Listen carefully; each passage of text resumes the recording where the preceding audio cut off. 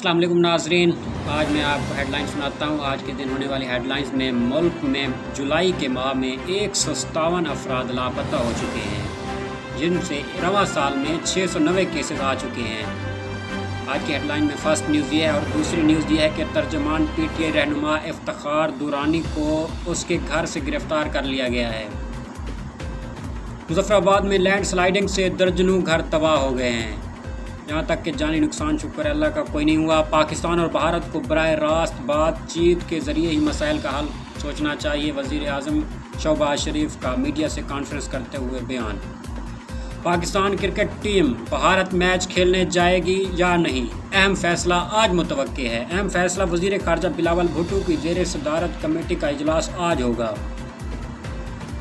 भलाई इलाकों में बारिश पंजाब से आने वाले सिलाबी रेले से दरियाई सिंध में पानी के बहाव में इजाफा। सिंध में कच्चे के इलाके जेर आब आ गए। एशियन गेम्स हॉकी टूर्नामेंट आज से भारत में हो रहा है। भारत के शहर चुनाई में होने वाले एशियन हॉकी टूर्नामेंट में पाकिस्तान अपना पहला मैच मलेशिया के साथ खेलेगा।